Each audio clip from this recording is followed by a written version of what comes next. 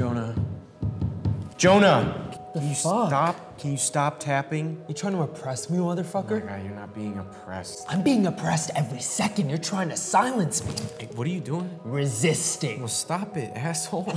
Let me live, Caden. This play is about uh, Generation Z and these teenagers who are inheriting this world of chaos and insanity that adults have left for them. This is a generation that has grown up on social media, and it's about the disconnect and their anger um, at not being able to feel heard, and they do some dangerous things in order um, to get people to pay attention. Would you eat your fucking muffin already? I thought you were done with that shit. What shits? You know.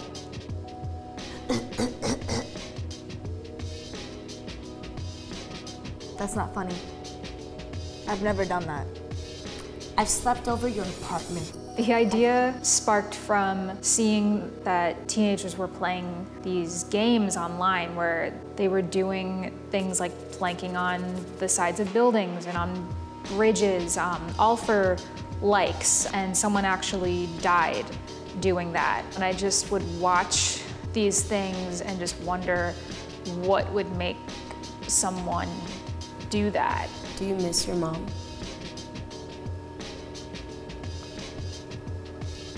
I'm sorry. It's a stupid question. Uh, it's cool. Just like, no one's ever bothered to ask me that before. When young people come to the show, like teenagers, college students, the feedback I get is very enthusiastic that this is giving them a voice, this is what they actually sound like, this is how they're feeling, um, and how rare it is to see that on stage. And they also think the play is hilarious. And then I'll talk to adults, especially parents, and they're just like traumatized. And I understand. I, I think it's very hard to watch this show as a parent, especially. It just kind of goes to show that parents aren't aware of what it's like for this generation. Well, then I guess it's time for the performance to start. It's showtime, folks. Showtime. Showtime. Everybody back up. We don't want to hurt nobody. Now I'm gonna work this pole like a stripper. And I promise to kick no one in the face. Don't worry, lady. I come in peace. I go to private school.